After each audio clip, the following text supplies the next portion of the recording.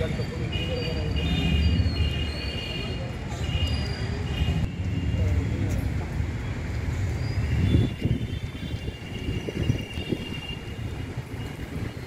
पाच आणले.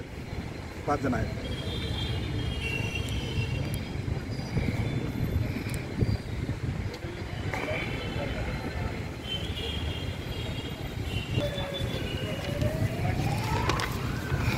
भेट घेतली का तुम्ही? हो एस पी साहेबांची भेट घेतली ना त्यांनी फोन केला नाही पोलीस स्टेशनला पर उचलला आहे. आमची काही चूक नाही असं म्हणतायत. आणि आज जेव्हा आम्ही तक्रार करण्यासाठी इकडे आलो तर तेव्हा ते बाकीच्या लोकांना यांना म्हणतात की या आम्ही तुम्हाला पैसे आत्ता देतो नंतर देतो. असा प्रकार बऱ्याच लोकांच्या बाबतीत घडलेला आहे आणि असे प्रकार घडू नयेत. आणि संबंधित एक तर शेतकरी आत्या आत्महत्या बीड जिल्ह्यात वाढल्यात. मराठवाड्यामध्ये एक हजार शेतकऱ्यांनी आत्महत्या केलेल्या आहे वर्षभरामध्ये. अशा प्रकारचं जर फसवणूक जर झाली तर यामुळे शेतकरी पुन्हा देशधडीला लागू शकतो. करोनाचं संकट पुन्हा हे फसवणूक संकट.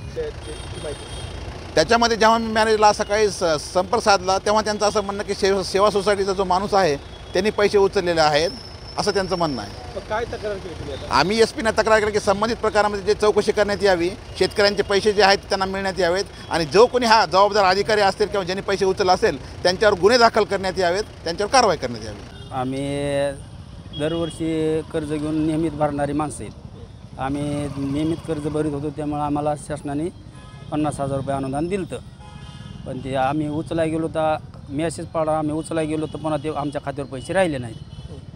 महिन्याभर आम्ही हलपट घातलं पण मॅनेजर काय आम्हाला आज या उद्या करून आम्हाला मेळ लागून दिला नाही. आमच्या खात्यावर पैसे गेले. काय बोलणं झालं? एस पी साहेबाची भेट घेतली. काय झालं मग? निवेदन दिलं. भरता आज तुम्हाला लाभ मिळालेला आहे.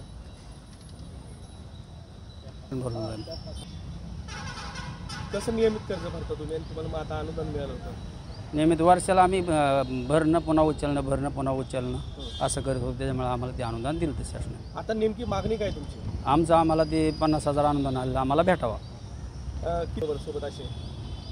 शेत हा पाच आहेत. नाव सांगा तुम्ही शिवाजी प्रल्हाद कवडे.